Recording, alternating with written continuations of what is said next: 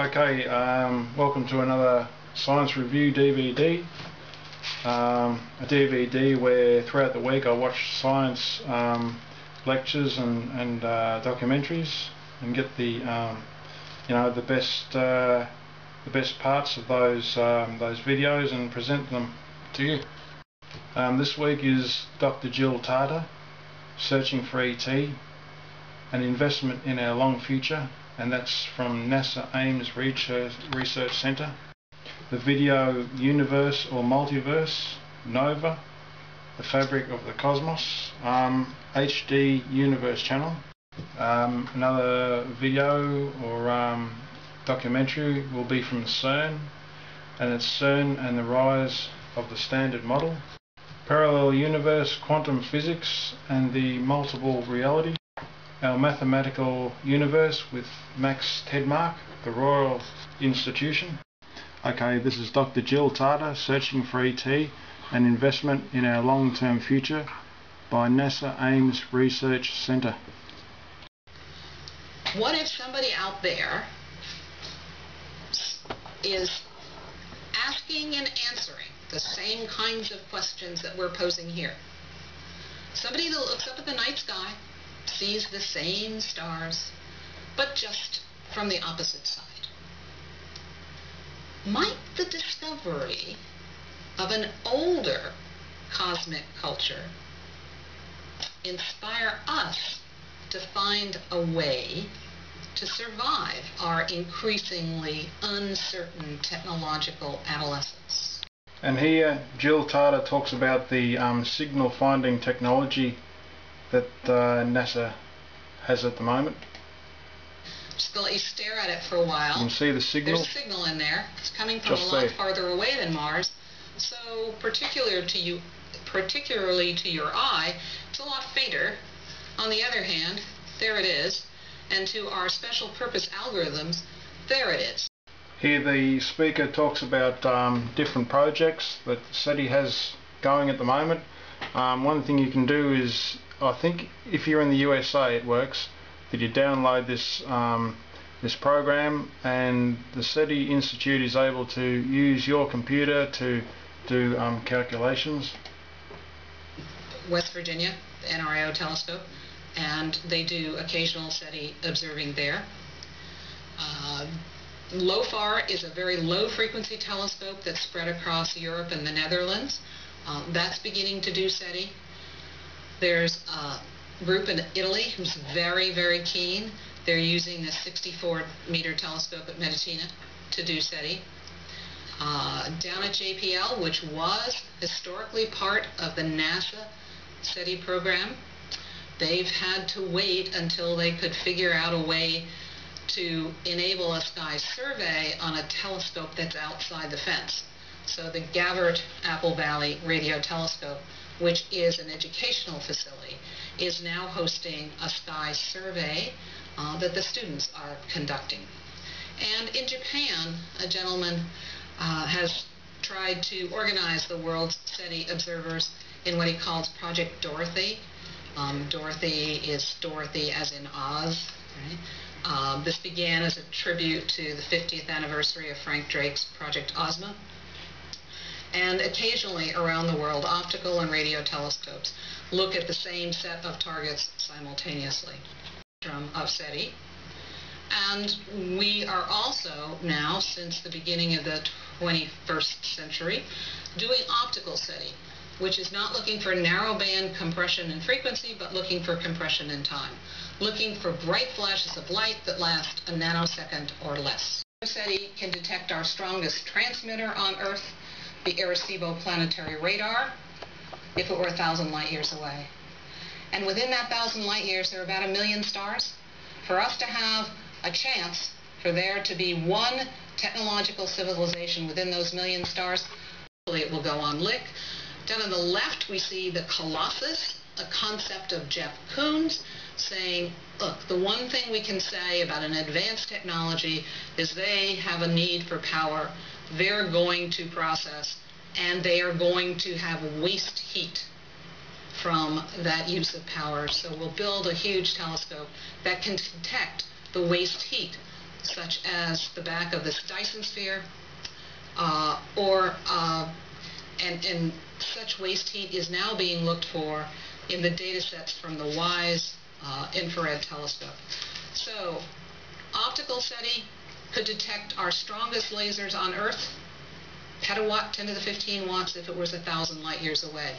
Radio SETI can detect our strongest transmitter on Earth, the Arecibo Planetary Radar, if it were a thousand light years away. And within that thousand light years, there are about a million stars. For us to have a chance for there to be one technological civilization within those million stars, longevity of the civilization has to be 100,000 years or greater. The future to the large telescopes, JWST, looking for biosignatures, the large optical telescopes, the European ELT and the US TMT, and the TMT is not really that much smaller than the ELT. ELT is 39 meters, TMT is 30 meters. It's just that ELT advertised itself as being a life detection system. TMT hasn't. But I just found out last week that there's some spare space in, in the instrumentation plane, and maybe we can get an optical IR SETI detector on there.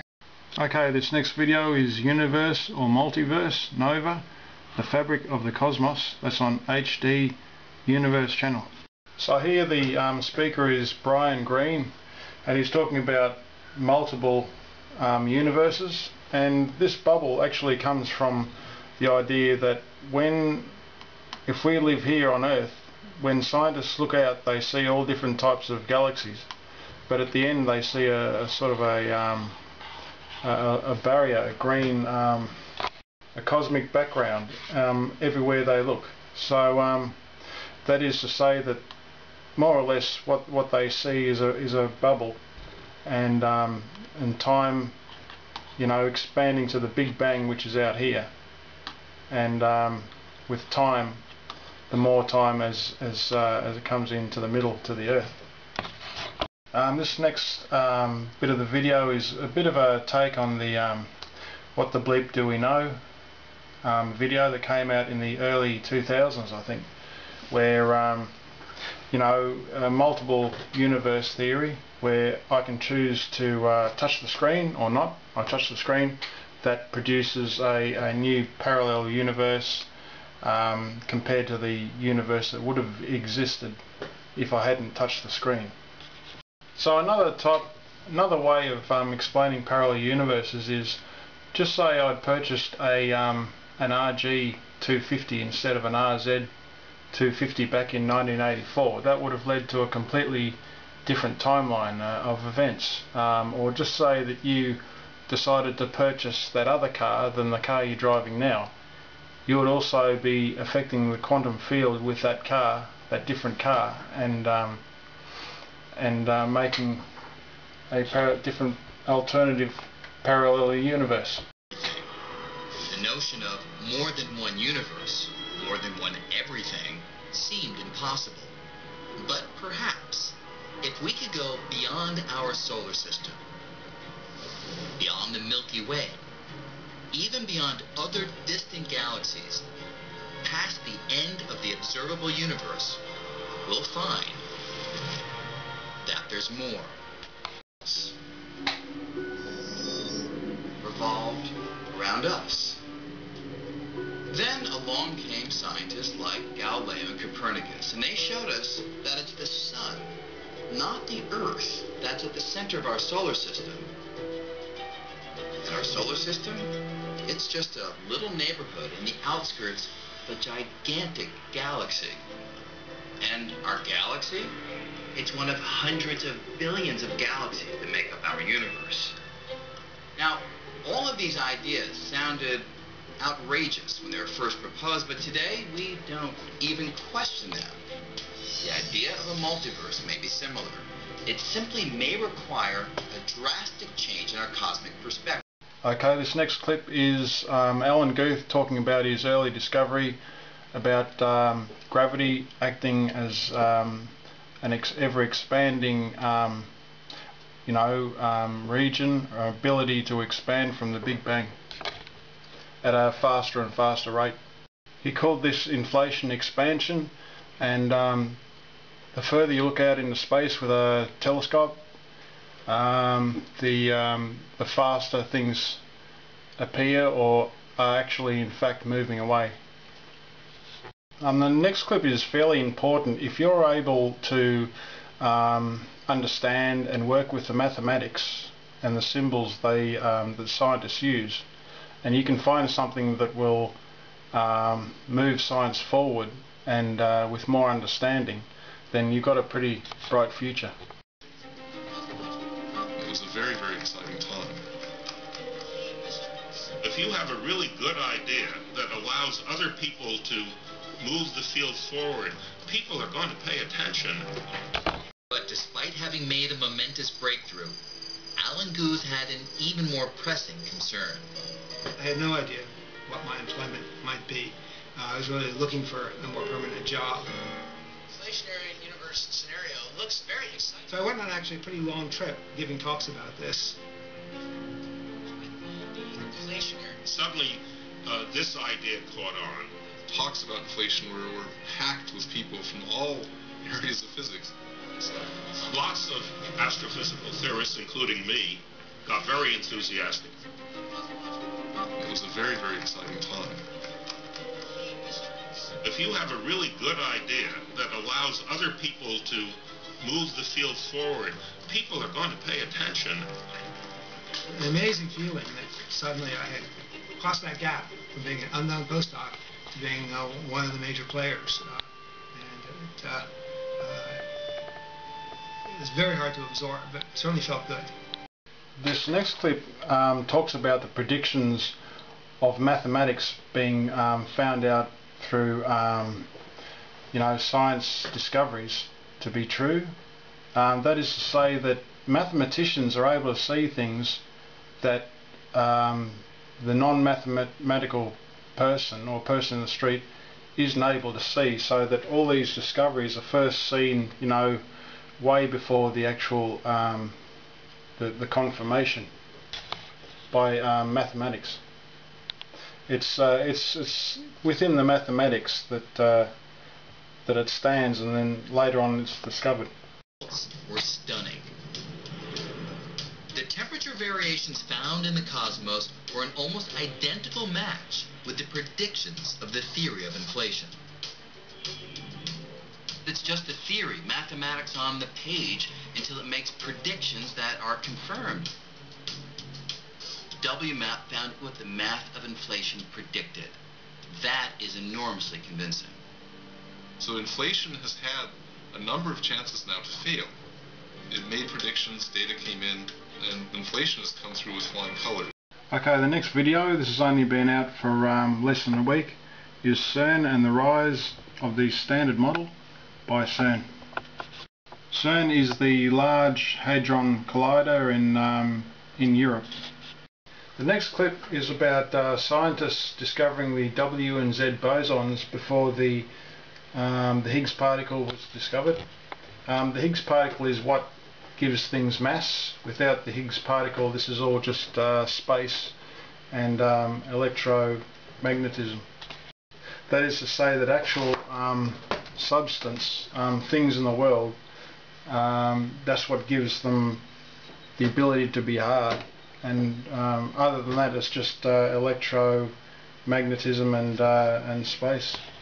It actually took scientists a fairly long time to find out what gives things mass.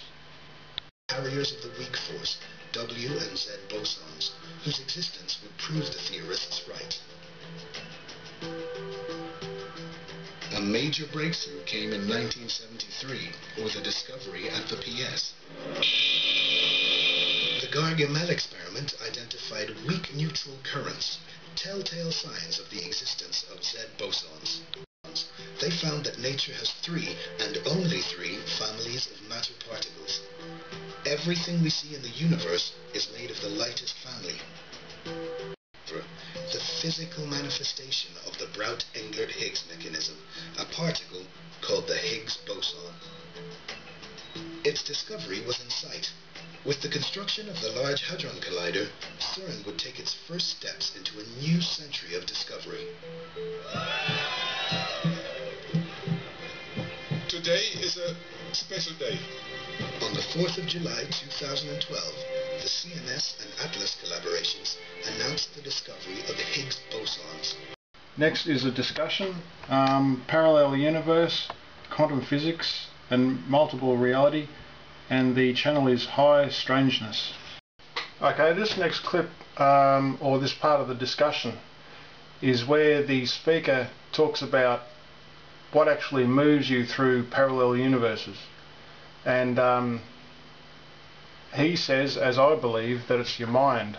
If I want to turn left, my mind makes the decision to turn left and my mind controls my body and I turn left and it'd be the same if I turn right and um, this is what he has to say. Right.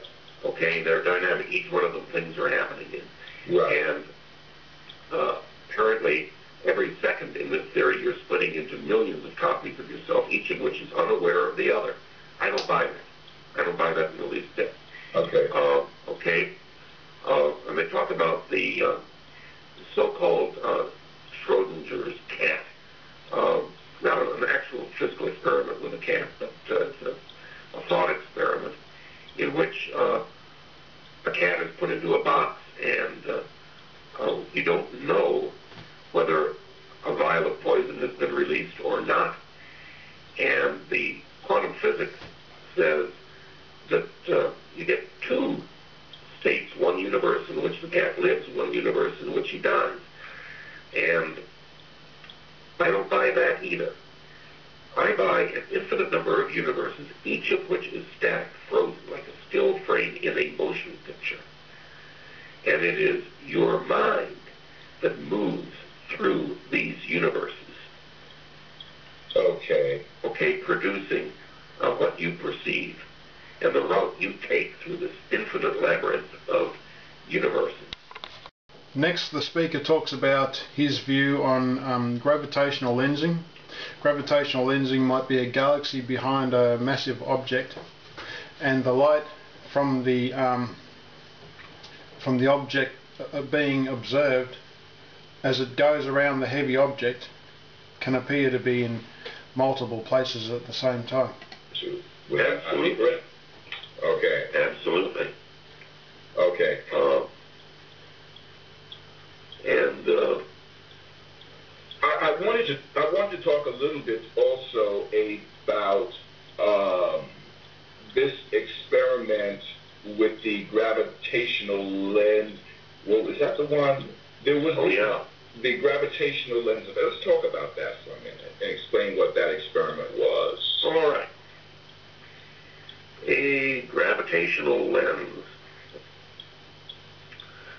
uh, is when you have a galaxy behind a very heavy, heavy, heavy object that can bend light rays as it passes near it. So light rays can go up either to your eyes, either over it or under it or around it, and you're likely to see an image of the galaxy behind it as multiple images. And this, this is proven science that a star a million light years away takes light a million years to get here from that star. Mm-hmm. It emits a photon, an atom on that star emits uh, two photons simultaneously, as tends to be the case, one going in one direction, one going in the other direction. Okay. That photon is polarized light, vertically polarized, horizontally polarized, polarized at 90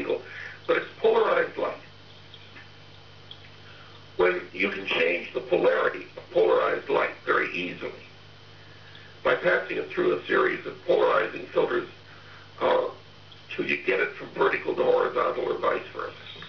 Um, if you just put up one polarizing filter at right angles to the polarity of the light, it doesn't come through. But if you uh, you can turn that photon. Now here's the catch: when that photon hits, uh, and you turn that photon, the photon that went off in the other direction a million years ago simultaneously turns to match it. Mm-hmm. Yeah. Mm-hmm. Um, reality reality can be changed, and that's faster than light, by the way. That's faster than the speed of light. That, that's an infinite, infinitely fast transition at a distance of, in this hypothetical, 2 million light years. That's a long way off. A light year is 5 trillion, 880 billion miles. Okay, the next video is our mathematical universe with Max Tegmark and that's the channel is the Royal Institution. So first, first of all Max Tegmark is going to talk about say that's the observable universe, the edge of the universe and that's us here. Um, the light is travelling this way so it takes a long time for that light to get to us. So if we look back out in this direction we're actually looking back in time. So if that's the origin of the Big Bang, and that's moving this way, as we look out into the universe, we go back in time. That's remarkably easy in astronomy because looking into the sky is like looking into a time machine. We already talked about how we see the sun not the way it is now, but the way it was eight minutes ago. If you see some stars this evening, if the rain clears up, you'll see them maybe hundreds of years ago. So somebody out there looking at us, they wouldn't see us, but they might see the American Revolution or something of Shakespeare doing his things. And if we look really far out with a good telescope, here we see many galaxies the way they were billions and billions of years into the past. So by simply looking at different distances from Earth, we can actually watch how cosmic history has unfolded. We've already talked about how the farther away we look, right, the longer ago we're seeing things happen. So that means that the galaxies that, we, that I see near me here are galaxies which are quite old, almost 30, which have been around long enough to mature and grow up and become big and look much like ours. Whereas if I look really far away, I'm looking so far back in the past, galaxies hadn't had time to grow up and mature. We see juvenile and really far away, there's these tiny baby galaxies. And if I look really far away, corresponding to the last row of the lecture theater, I see no galaxies at all. Because I'm looking at what happened so long ago, the galaxies have not yet had time to form. Next he's going to talk about the Doppler effect. We, we know that if you go down to the highway and you listen to cars, you hear them go. They do not sound. This is because what we know is the Doppler effect, where, as you know, something going away from you has its frequency lowered. And the exact same thing happens with light. So if a galaxy is flying away, the light frequency will be lower, which means its color will look redder. We call that redshift in astronomy. So the fact that you're all blushing means that all of you guys, for some reason... Next he's going to talk about the origin of the Big Bang, that everything in the universe was in the same place. That's why those of you in the back look more tomato red than those nearby were just blushing a little bit. So, and when you do the math, you find out that about 13.8 billion years ago, all, pretty much all the galaxies we see were more or less in the same place. So there was some grand calamity that took place back then. We don't know exactly what caused it or exactly what happened. We have a fancy name for it. We call it our Big Bang. You can come back and you can ask me much more about it later if you Next is going to point out that the uh, microwave background is really uh, like a plasma screen from, from the atoms. Now, so a plasma is opaque, not transparent like this gas. So it looks to us like beyond all those galaxies and beyond the empty last row where there were no galaxies, we see a plasma screen glowing at us. But it's going to look, of course, exactly the same whatever direction we look, if you look that far into the past. So it actually looks to us like we are surrounded by this plasma screen that we can photograph from inside. And here are some these remar remarkable photos of this plasma screen made by the Wilkinson Microwave Anisotropy Probe, a satellite I had a lot of fun working with data from. Now Mr. Tegmark's going to talk about the unknowns and, and what he would like to uh, to have more knowledge of. Also how much we still do not understand. For example, we've come to realize that we have no clue what 95% of our universe is made out of and that the part we don't understand is at least two separate mysteries, dark matter and dark energy. You can ask me more about that afterwards. Uh, We would really like to know, in particular, what the dark energy is, because it's going to determine the ultimate fate of our cosmos, whether it's going to keep expanding forever or come crashing back on itself in a big crunch or, or something else. We also would like to know more about what really happened early on in this big, big bang, what caused it, etc. There are many things we would like to understand better. So how can we do that? Fortunately, we have only harvested a tiny fraction of all this data yet. Now he's going to talk about how much of the universe has actually been observed. Right, correct. If you look inside of this, on the same scale, these beautiful baby pictures of the cosmic micro background, the plasma screen, uh, cover less than a percent of the volume, just a yellow little surface here. And all those galaxies we flew around in earlier are just this dinky little stuff in the middle here. Again, less than a percent of the volume. So most of this is uncharted territory. How can we map that? We can't look here with an ordinary telescope and look at the galaxies because there are no galaxies so far away. They haven't formed yet. Fortunately, there's a very, very cool technique which can do precisely this, which can actually image simply the gas itself and see what it's up to and where. So now Mr. Ted Tedmark is going to talk about the fact that a lot of theories are um, mathematically proven and seen in maths before they're actually um, scientifically proven in the real world. I don't know what Galle thought when he got this letter. Maybe he thought that this letter writer must be cuckoo for Cocoa Puffs.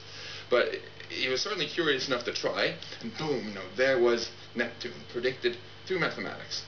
And uh, just a few decades later, here in Britain, James Clerk Maxwell was studying realized that he could unify all of electricity and, ma- and magnetism in the Maxwell equations, and he did more calculations and predicted that if you built a certain kind of device, then you could use it to send information at the speed of light through empty space, through walls, etc. The device was, of course, built, and you all know the results. Raise your hand if you have a cell phone in your pocket. Yeah, predicted through mathematics again. And most recently, of course, Peter Higgs took the most advanced mathematical description we had at the time of nature, the so-called standard model of particle physics, that calculated and calculated and predicted that if we humans built the most advanced scientific instrument ever built in Geneva and used it to crash particles together near the speed of light in a certain way, we would there discover a new particle. You know the rest. We built it. Boom. There was the Higgs boson, and he got a free trip to my hometown of Stockholm. And it's not the power of mathematics isn't limited, of course, to just these three examples. There is incredible wealth of predictive power in math, much of which is summarized in equations of physics, like these. That's one reason why, um, if you're interested in science, um, go out and buy um, books and read the books because uh, science theory is um, comes from mathematics and uh, what they know through mathematics. The, it's not just equations either, it's even numbers, just pure numbers. In my book you'll find this table here with 32 numbers, pure numbers with no units on them, which remarkably can be used together with those equations to calculate every single fundamental physical constant ever measured in the history of science. You can make more than 100,000 different measurements of various numbers to do with what colors of light come out of atoms, for instance. You can calculate them all from these 32. If you want to know why is it that the proton is 1836 times heavier than the electron, you can calculate it from these numbers. Here Mr. Tedmark um, talks about his book, Max Tedmark and the Mathematical Universe. No doubt it'd be very good reading. In the book, I explore the whole spectrum of possible answers to this, from a lot of people who say it means nothing, to people who say, well, it's very useful, that's what it means, but we, but that's all really we can say about it, to people who think maybe somehow it's all about something with our brains, maybe we invent math. Explore the opposite extreme, that it really means that nature is deeply mathematical, truth. In particular, explore the hypothesis that our universe isn't just described by mathematics, but that it is mathematics in the sense of being a mathematical structure.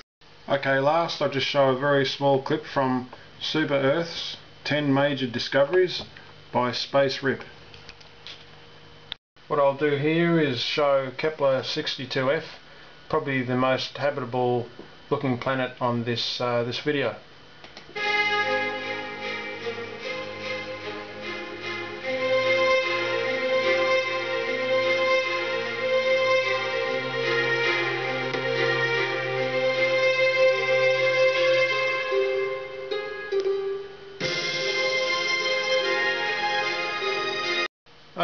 So I'll just leave you with the um, with the planet um, passing the light of the sun in the region with a slight blue haze indicating maybe an atmosphere.